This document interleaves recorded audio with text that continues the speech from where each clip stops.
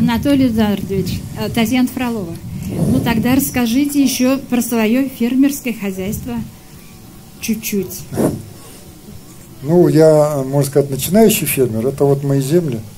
Вот там. Чуть больше 100 гектаров с озером. Ну, мы только это недавно землю получили, поэтому это начало работ. Но э, цель моя, вот взяв это фермерское хозяйство, не для того, чтобы там вырастить 100 тонн картошки или 10 тонн яблок и продать и заработать там какие-то деньги. Нет. Цель другая. Я хочу на своем фермерском хозяйстве в первую очередь отработать технологии промышленного получения гумуса. Э, чтобы можно было его производить миллионами тонн. Миллионами тонн. Сейчас идет уничтожение плодородных почв на планете, идет опустынивание, а, а здоровье биосферы – это почва. На самом деле почва – это иммунная система биосферы, и она практически вся убита. И это микроорганизмы, которые там живут.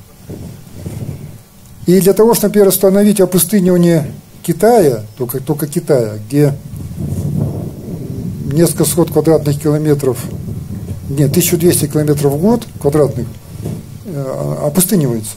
Только чтобы остановить, надо 100 миллионов тонн гумуса в год. Китая только.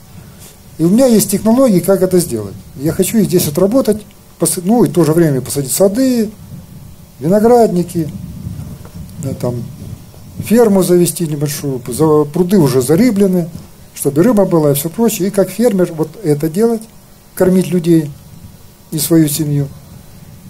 Но сверхзадача другая. И вот это очень интересует.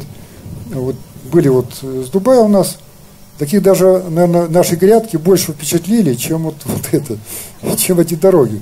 И когда помощник вот э, главного шейха Дубая поднялся на вот э, гостевой домик, и у него была помощница, они сорвали землянику и съели. Они говорят, таких вкусных ягод мы никогда в жизни не, не ели, не пробовали. И когда они там огурец у нас сорвали, они говорят, ну какой он вкусный, он хрустящий, весь такой иголочками, а не какой-то пластмассовый магазин. Потому что мы неправильно питаемся, то, что мы едим, есть нельзя. А можно вырастить другую еду на правильной почве.